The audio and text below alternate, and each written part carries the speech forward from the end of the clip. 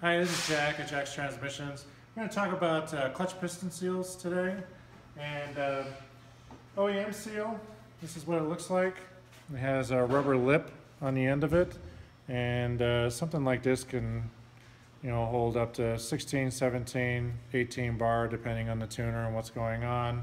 And it's just not a very good design. The rubber will eventually begin to crack and it'll rip and blow out like this one right here.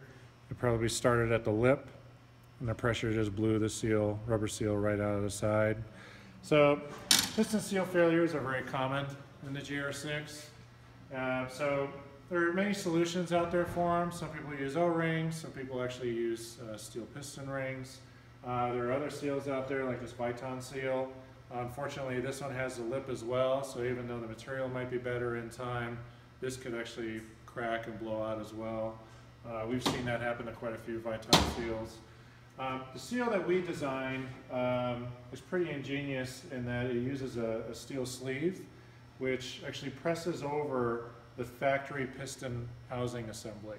So that way you don't have to buy the whole billet piston assembly, um, which saves a lot of money. Uh, in the past, you know, it used to cost 1,200 to $1,500 for just one piston because the whole thing would be billet to fit the aftermarket seal. Well, this technology here uses a sleeve that we press on to the factory piston assembly, tack welded in place, and the seal that we use is the industry standard for transmission oil seals. Uh, this is a carbon impregnated PTFE seal, um, which you'd find in uh, you know, many standard automatic transmissions out there.